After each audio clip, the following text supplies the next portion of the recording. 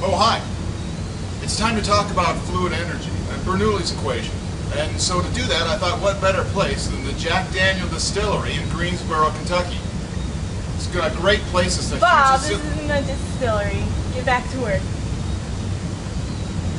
She's right. It's not a distillery. We're actually here at the Washington Enormous Fusion Facility, built into the side of a hill to power the entire state into the end of the 21st century and beyond. Incredibly state-of-the-art thing. I mean, scientists from all over the world are here to do it. And I'm here too. Uh, we thought we'd uh, let you look at this before it becomes public in the year 2010. This, of course, is the um, the, the drinking water facility. Everything else was kind of taken, so I'm just doing the drinking water facility right now. But it gives you a nice idea of how fluid energy works. Um, what you do with fluid energy is you're trading off between between kinetic energy density. Water's got to move, right? Um, pressure.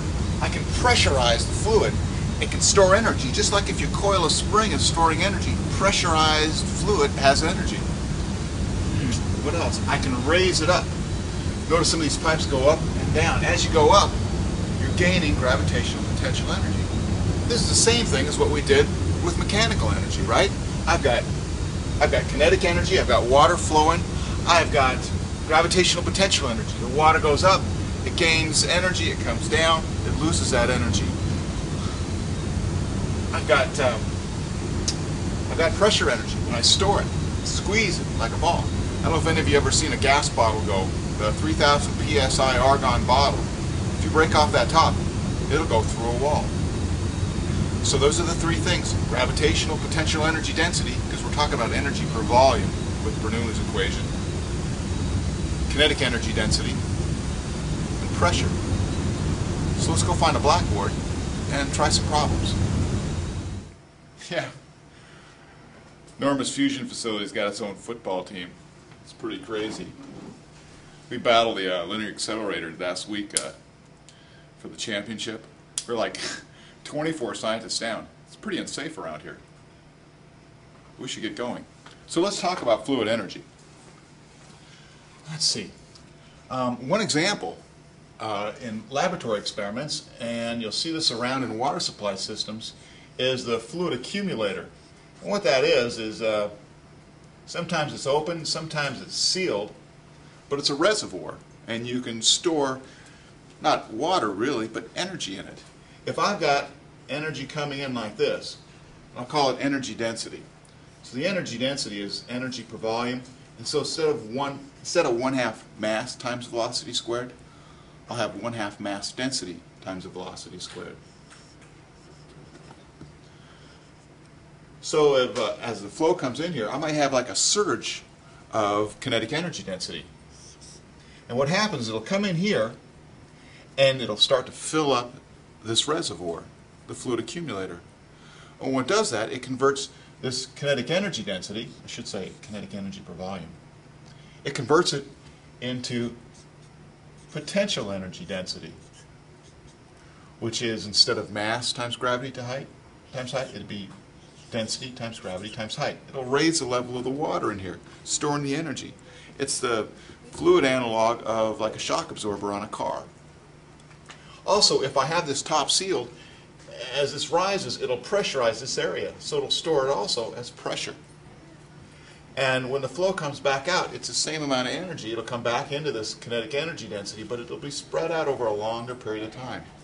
Just like when your uh, your shock absorbers, how they, if you hit a bump, they spread that bump out over a longer period of time.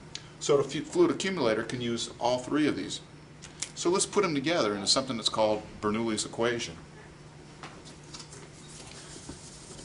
Put together, I think, by Daniel Bernoulli. Bernoulli. He was Swiss. Let's see.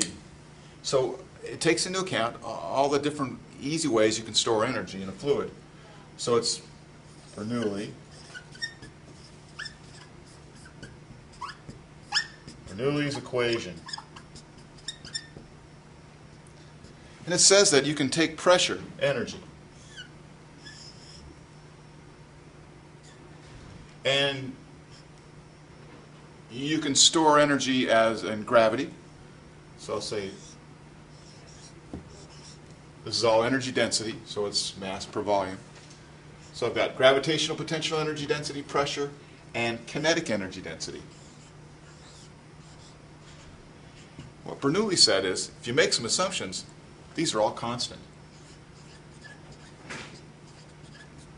I can move the I can move the energy around to different uh, like safe deposit boxes, but I still have the same total energy. And what he assumed was assumptions. He assumed, well, I can't lose the energy anywhere else. So I've got to assume no friction. That's also, for fluids, that's no viscosity. Causes heating and loss of energy to the heat. Um, no turbulence. If I start making the energy go in all kinds of different directions, I've wasted it. So I want I'm going to assume just laminar flow for this. Finally, I'm going to assume that the density terms don't change. I'm going to assume incompressible flow, where the density won't change. It makes it easier to solve. Now, this doesn't work very well for air, but it's great for water.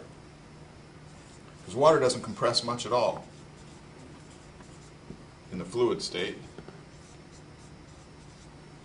So no friction, which is no viscosity, no turbulence, laminar flow, and incompressible flow. The density stays constant. So let's try, well, let's see, first, well, let's try this.